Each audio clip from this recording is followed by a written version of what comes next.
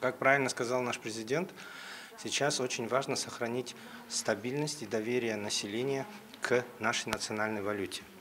В настоящее время а, Национальный банк, Агентство по развитию и регулированию финансового рынка совместно с правительством предпринимают ряд решительных шагов по решению этого вопроса. Как вы знаете, создана программа по защите деньговых депозитов. Агентство по финансовому регулированию и развитию рынка а, постоянно мониторит ситуацию с выполнением банками а, потенциальных нормативов. Также предприняты меры по запрету вывоза из Казахстана, а, вывозу капитала и ограничению по вывозу иностранной валюты. Все эти меры должны в определенной степени стабилизировать ситуацию на финансовом рынке.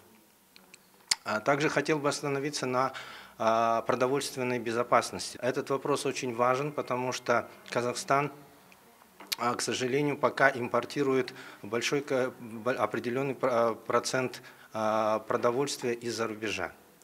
Мы должны стремиться к обеспечению э, самостоятельной продовольственной безопасности.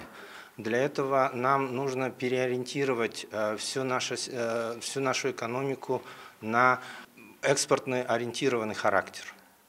Мы должны открывать собственное производство а, как продовольственных, так и непродовольственных товаров. А, чем больше э, будет процент а, экспортно ориентированности нашей экономики, тем меньше мы будем зависеть от э, инфляционного давления извне.